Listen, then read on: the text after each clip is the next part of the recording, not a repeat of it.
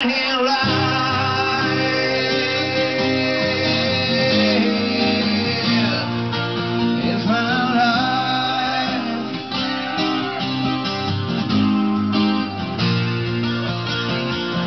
is for walls and still can't ground.